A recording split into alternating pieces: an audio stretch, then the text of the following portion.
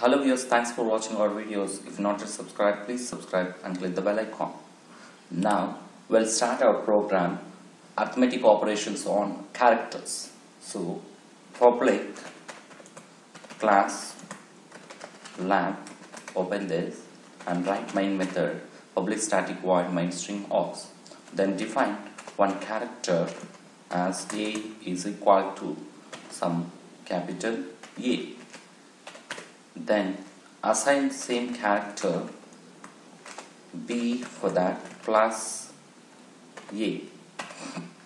Now we are doing that assigning plus to the a. Then it will going to print or not we're going to check.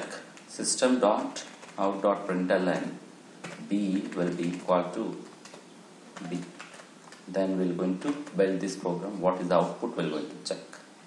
So it's showing that possible lossy conversion from int to char so we got the after this character this will going to define as int inside.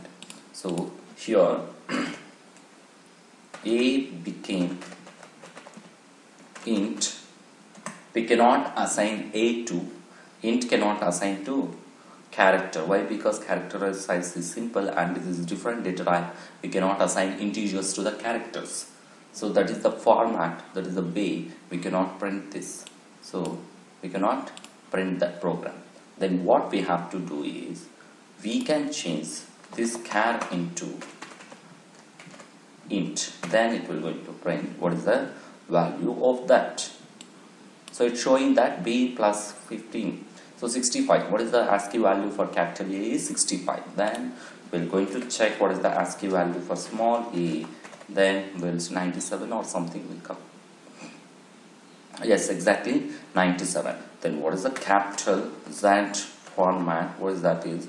Just addition of 65 plus 26 or 25 that is 65 plus 25 obviously it's 90 what is the small z value? ASCII value of that. So what is the small z? ASCII value. Then we'll check 97 plus 25 that is 122 so like this we need to print. If you want to print any character arithmetic operations with the characters we have to assign. So what is that is? Assign character char to integers. Why? Because it's inside compiler will think as the as that is 97 or it will be something 122 then capital A will be 65 that like we have to assign so we can do another one. What is that is? Can you do uh, subtractions values? Yes obviously. We can do that is casting will be equal to capital E. Then what you can do is I'm going to assign um, C to the D. What is that is? Minus uh, C. Minus C. Then you're already E capital E is 65 then what we have to take? Minus C means it will be like it will be like 64 or something. Then we're going to compile this running.